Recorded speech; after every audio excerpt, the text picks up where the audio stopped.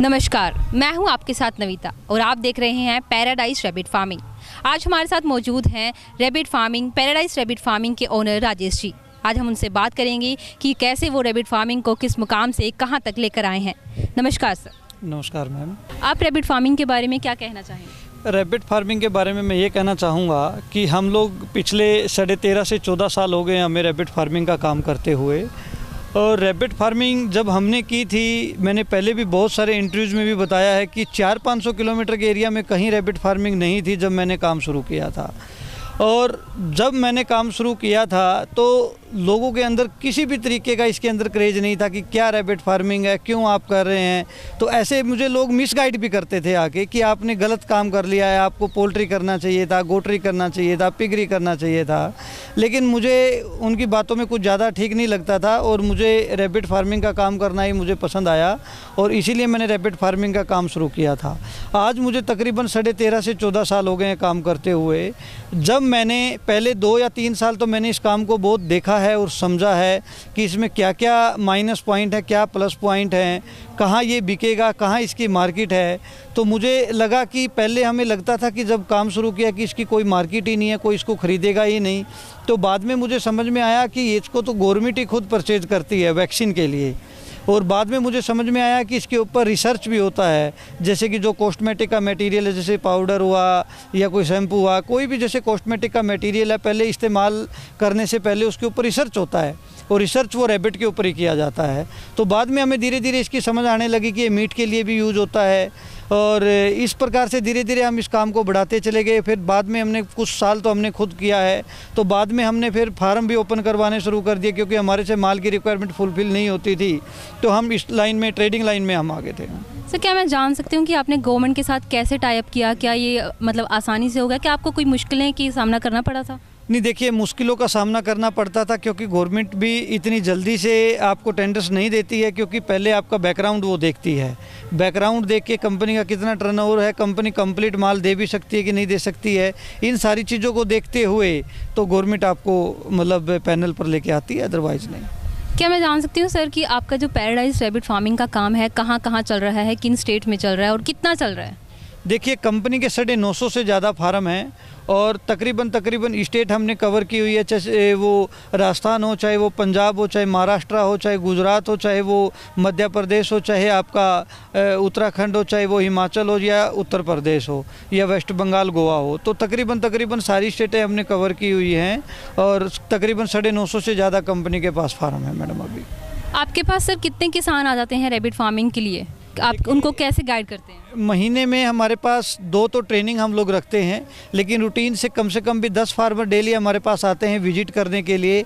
अगर हम वीकेंड की बात करें सैटरडे संडे की तो हमारी 20 से 30 फार्मर पर डे मतलब जैसे मैं शनिवार और संडे की बात करूँ तो तकरीबन शनिवार को 20 से 30 फार्म और संडे को भी तकरीबन 20 से 30 फार्मर हमारे पास कंटिन्यू आते हैं जी फार्म को विज़िट करने के जी सर आपकी जो ट्रेनिंग होती है वो कितने समय की होती है और उसमें आप क्या क्या सिखाते हैं? देखिए तकरीबन हमारी जो ट्रेनिंग होती है दो से लेकर पाँच दिन की ट्रेनिंग होती है। लेकिन अगर बैच हमारा बहुत छोटा है तो हम दो दिन में भी उसको कवर करा देते हैं। अगर बैच बड़ा है तो हमारे तीन से पाँच दिन पूरे लगते हैं एक बैच में कितने किसान आप ले रहे थे सर? मिनिमम ट्वेंटी लेते हैं और मैक्सिमम फिफ्टी लेते हैं एक बैच के अंदर। आपने जब ये शुरुआत की थी तो क्या आपको भी कोई दिक्कतें आई थी? हाँ बहुत दिक्कतें आई थी जब हमने शुरुआत की थी क्योंकि मैंने पहले भी बताया है पहले ये प्राइवेट सेक्टर में काम नहीं होता था।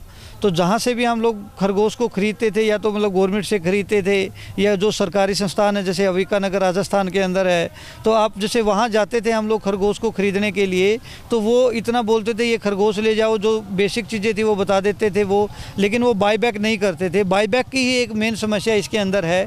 तो बाई बैक अगर कंपनियाँ अच्छे से कर लेती हैं तो इस काम से अच्छा कोई काम ही नहीं है। जी आपने ये काम कितने स्तर से शुरू किया और आपके क्या साथ अपनी अपनी जो फैमिली है उन्होंने सपोर्ट किया या फिर उनके अगेंस्ट जाकर आपने काम नहीं खूब सपोर्ट किया मेरे फादर साहब ने और मेरे फादर साहब इसी मेरे साथ ही थे और मैं भी उनके साथ ही रहा हूँ। तो तकरीबन स्टार्टिंग में तो मेरे फादर ने इस काम को शुरू किया था। तो बाद में हम लोग इस लाइन में देखने के बाद जैसे वो उनको देखते थे संभालते थे मैं तो पहले एजुकेशन लाइन में था। तो आज मैंने वो एजुकेशन लाइन को थोड़ा होल्ड किया हुआ मैं इसी लाइन में ज़्यादा अपना टाइम देता हूँ। आपने कितने स्तर से शुरू किया किया था सर? हमने 20 यूनिट से इस काम को शुरू किया था स्टार्टिंग में। तो धीरे धीरे फिर हमने उसको यूनिट्स को बढ़ाया है। जैसे पहले 30 यूनिट 20 यूनिट फिर 30 यूनिट 50 यूनिट। इस प्रकार से हमने आज हमारे तीन खुद के ब्रीडिंग सेंटर हैं। एक हमारा हरियाणा का स्टॉक सेंटर है। ब्रीडिंग सेंटर की मैं जो बात करता हूँ आपसे कहता हूँ जैसे हैदराबाद गोवा वेस्ट बंगाल हमारे ब्रीडिंग सेंटर हैं और हरियाणा के अंदर हमारा स्टॉक सेंटर है। सर स्टॉक सेंटर और ब्रीडिंग सेंटर में क्या फ़र्क होता है? देखिए स्टॉक सेंटर में क्या होता है कि मैं पंजाब की, हरियाणा की, उत्तर प्रदेश, कुछ राजस्थान, कुछ मध्य प्रदेश तो इस प्रकार से मैं बात करूँ तो मैं हरियाणा के अंदर ही पूरा स्टॉक करता हूँ उसका। और स्टॉक करके जैसे यहाँ जितने फार्म खुलते हैं तो जो वेस्ट बंगाल गोवा या हैदराबाद से हम लोग माल मंगाते हैं, पहले अपने सेंटर पर स्टॉक करते हैं, फिर आगे सप्लाई करते हैं हम लोग।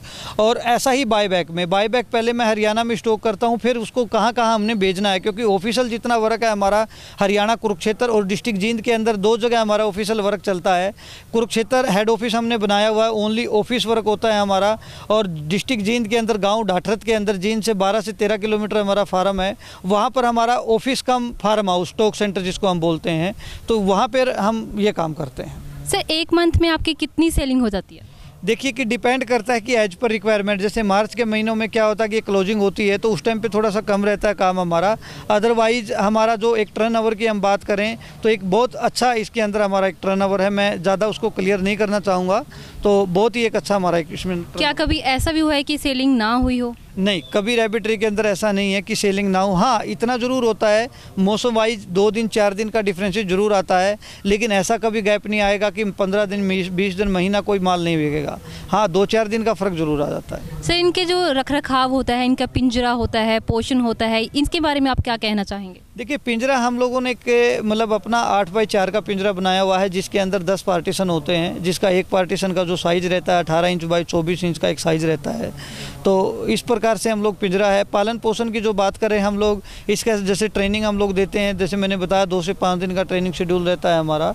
तो उस ट्रेनिंग में क्या हम लोग बताते हैं साइड का टेम्परेचर क्या होना चाहिए साइड की लंबाई, चौड़ाई क्या होनी चाहिए हाइट क्या होनी चाहिए, एक पिंजरा दूसरे पिंजरे से डिस्टेंस कितना होना चाहिए मेटिंग का समय क्या होता है क्रॉसिंग किस तरीके से आपको कराना है हीट स्टाइल क्या होता है फीडिंग का स्टाइल क्या होता है, किस फ़ीड के अंदर कितना प्रोटीन होता है फाइबर कितना एनर्जी कितनी प्रोटीन कितना, ठीक है, ये सारी चीज़ें हम लोग ट्रेनिंग के टाइम में फार्मर को अच्छे से गाइड करते हैं और बाद में भी जैसे फार्मर की कोई प्रॉब्लम आती है तो उसको हम सॉर्ट आउट करते हैं सर खरगोश की नस्लों के बारे में क्या कहेंगे? कितने प्रकार की नस्ल होती है? टोटल सात प्रकार की नस्लें होती हैं खरगोश के अंदर। छः को बोलते हैं हम ब्रेलर हाइब्रिड और सातवीं नस्ल को बोलते हैं अंगोरा।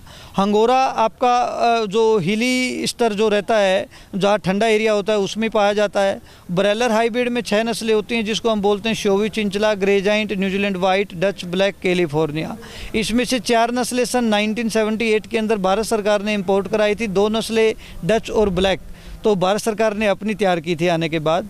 ये छः नस्लें ऐसी नस्लें हैं इसको आप ठंडे एरिया में रखें या गर्म एरिया में रखें इनको कोई फ़र्क नहीं है बराबर ब्रीडिंग होती है बराबर लीटर संख्या रहती है बराबर सब कुछ रहता है जी इसके अंदर। सर क्या सभी नस्लों को सभी नस्लों के खरगोशों को एक ही पिंजरे में रख सकते हैं या फिर अलग अलग नस्ल को अलग अलग पिंजरे में नहीं ऐसी कोई बात नहीं है क्योंकि हर एक खरगोश का अलग पार्टीशन होता है। आप उसको अलग भी कह सकते हैं और इकट्ठा भी कह सकते हैं। तो क्योंकि एक मैंने जैसे पहले बताया कि आठ फीट लंबा चार फीट चौड़ा एक पिंजरा होता है उसमें दस पार्टीशन होते हैं। चाहे उसको आप सेवी चिंचला को रख लीजिएगा या फिर छः की सात की सात नस्लें एक में रख लीजिएगा कोई ऐसी फ़र्क नहीं। सर सबके सबसे महँगी नस्ल कौन सी होगी? नहीं सबकी बराबर रहती है। सिर्फ़ फ़र्क ये रहता है कि अंगोरा की सिर्फ़ ऊन इस्तेमाल होती है ब्रैलर हाइब्रिड रैबिट की वैक्सीन के लिए रिसर्च के लिए मीट के लिए पर्पज़ में काम आता है मैम। सर, एक खरगोश की कीमत कितनी हो सकती है? देखिए, एक खरगोश की कीमत नहीं लगती है। जैसे दो किलो का खरगोश होगा तो ढाई सौ रुपये के हिसाब से, ढाई सौ रुपये के जी के हिसाब से हम पाँच सौ रुपये की कीमत तय करते हैं। लेकिन कोई कोई फार्मर उसको पौने दो के जी का भी बेचता है, कोई तीन के जी का भी बेचता है। तो उसकी कीमत तो वेट के साथ तय होती है, मैम। सर क्या खरगोशों से हमें कोई नुकसान भी हो सकता है या फिर उनसे कोई बीमारियाँ हमें लग सकती हैं? नहीं रेबिट्री में कभी भी ऐसा नहीं होगा कि कोई भी बीमारी रेबिट्री के अंदर आएगी तो वो इंसान को भी लगेगी। कभी ऐसा नहीं होता है क्योंकि रेबिट जो है इंसान से 80 परसेंट मिलता हुआ एनिमल है। खरगोशों की जो बीमारियाँ होती हैं उनके बारे में आप क्या बोलेंगे कि कैसे उनको सही किया जाएगा? देखिए कि मैं अगर खरगोश के अंदर बीमारी की बात करूँ तो खरगोश में कभी भी कोई बीमारी नहीं होती है कायदे से। लेकिन आपका फ़ीड के अंदर प्रोटीन की मात्रा एनर्जी फाइबर बराबर होना चाहिए। और साफ़ सफ़ाई बहुत अच्छी होनी चाहिए। उसको कोई टोनिक की ज़रूरत नहीं, कोई मेडिसिन की ज़रूरत नहीं है। जब आपकी फ़ीड बराबर नहीं होगी, उसको डाइजेशन सिस्टम में प्रॉब्लम होगी, उसको हीट आने में प्रॉब्लम होगी मेटिंग प्रॉपर से नहीं होगी, बच्चे प्रॉपर नहीं आएँगे तो आपको, किसान को लगता है कि नहीं, इसके अंदर बहुत सारी बीमारियाँ हैं, ऐसी कभी भी रेबिट्री के अंदर बीमारी नहीं है, लेकिन उसका फ़ीड का जो फार्मूला है, वो एक्चुअल में सही होना चाहिए। तो आपको कभी भी प्रॉपर बॉडी वेट आएगा प्रॉपरली क्रॉसिंग होगी, सब कुछ बराबर चलेगा जी उसमें। खरगोशों की मीटिंग के समय क्या कोई दिक्कत आ सकती है सर नहीं जी, कभी कोई दिक्कत नहीं आती। सुबह सूर्योदय होने से पहले आप मीटिंग कराइए। ठंडा मौसम हो और डिस्टर्बेंस कम हो। तो जो मादा प्रेग्नेंट होती है जब उनको, वो कितने खरगोश पैदा करती है और कितने उसमें से मतलब ज़िंदा रहते हैं, क्या उनको दिक्कत आती है, क्या उनका सही होता है? देखिए, मादा खरगोश जब भी मैटिंग के लिए मतलब तैयार है और हम मैटिंग उसकी करवा देते हैं तो तकरीबन 28 से 32 दिन का ड्यूरेशन होता है मादा का बच्चे देने का। दो बच्चों से लेके 12 बच्चे तक देने की क्षमता रखती है फीमेल अपने। अब मरने की दर में क्या है कि हम इसमें एक ट्रेनिंग के टाइम में भी हम लोग बताते हैं सबसे अच्छी बात क्या है कि किसी मादा ने चार बच्चे दिए हैं और किसी मादा ने बारह बच्चे दिए हैं। जिसने बारह बच्चे दिए हैं तो आप उसको विद इन टू डेज़ के अंदर अंदर दूसरी मादा के नीचे आप शिफ्ट कर सकते हो। तो उसको शिफ्ट करने से क्या फ़ायदा मिलता है आपको कि उसके बच्चे ज़्यादा थे, उसके बच्चे कम थे तो वो बच्चे सभी ज़िंदा रहेंगे। अगर ऐसा नहीं मिलता है किसी मादा में कि भी बच्चे उसने ज़्यादा दे दिए और दूसरी मादा ने उसी दौरान कोई बच्चे नहीं दिए हैं तो उस प्रकार से फिर हमें प्रॉब्लम आती है, उसी प्रकार से मोडल्टी रेशो हमारी ज़्यादा बढ़ती है। सर, जो नए जन्मे बच्चे होते हैं, उनका खाना तो अलग होगा तो उसके बारे में क्या कहना चाहेंगे? नहीं, कोई खाना अलग नहीं होता है नए जन्मे बच्चों का, क्योंकि 12 दिन पे बच्चों की आँख खुलती है, उसके बाद दाने और पानी पर बच्चा आता है। 12 दिन तक तो वो फीडिंग पे ही रहेगा, वैसे तो 27 दिन तक रहता है फीडिंग पे माँ के साथ, लेकिन आँख खुलने के बाद दाने और पानी पर खरगोश आ जाता है। जी जब खरगोश को इधर से उधर ले जाया जाता है तो उनके परिवहन का उनका कैसा होना चाहिए सर? देखिए मैं सबसे पहले कहना चाहूँगा कि अगर गर्मी का वो समय है धूप का वो समय है तो धूप के समय कभी भी रेबिट्री को मतलब रेबिट को ट्रांसपोर्ट ना करवाएँ। ठंडे मौसम में ट्रांसपोर्ट करवाएँ और कोशिश हो सके तो रात को या सुबह जल्दी। सर आप लोगों को रेबिट फ़ार्मिंग के बारे में और क्या बताना चाहेंगे? बस मैंने तकरीबन तकरीबन आपको जानकारी दे दी है और कोई इसके अलावा और जानकारी हमारे पास चाहता है, हमारे यूट्यूब पे वेबसाइट पे, www.paradiserabbitfarm.com और दूसरा मैं मेरा कॉन्टैक्ट नंबर है nine four double six four one nine four double five तीसरा मैं कहना चाहूँगा किसानों को कि जितने भी मेरे किसान भाई हैं, बहुत सारे रेबिट फ़ार्मिंग करना चाहते हैं या पोल्ट्री फार्म करना चाहते हैं, हम लोग सिर्फ़ रेबिट्री की ही जानकारी देते हैं और रेबिट्री में मैं ये कहूँगा सभी किसानों को, जहाँ भी वो जाए, चार या पाँच कंपनियों पर जाए सभी के डॉक्यूमेंट देखे कि वो फर्म है या कंपनी है। कहाँ से वो रजिस्टर्ड है? कितनी पुरानी कंपनी है? क्या वो किराए की जगह पर बैठा है या अपनी जगह पर बैठा है? और सिर्फ़ कंपनी से ही ना पता करके उसके आजू बाजू में भी ज़रूर पता करे कि ये आदमी कैसा है। उसका फ्यूचर क्या है और कितने टाइम से वो काम करता है, तब वो रैबिट फ़ार्मिंग का काम शुरू करे, क्योंकि रैबिट फ़ार्मिंग को बदनाम किया जा रहा है। बहुत सारी कंपनियाँ कभी तीन सौ रुपये का, चार सौ रुपये किलो का लालच दे के रेबिट्री करवा देती हैं और बाद में वो उनका माल नहीं उठाती हैं। तो ऐसी कंपनियों से मैं फार्मरों को कहूँगा कि थोड़ा सावधान रहें। धन्यवाद।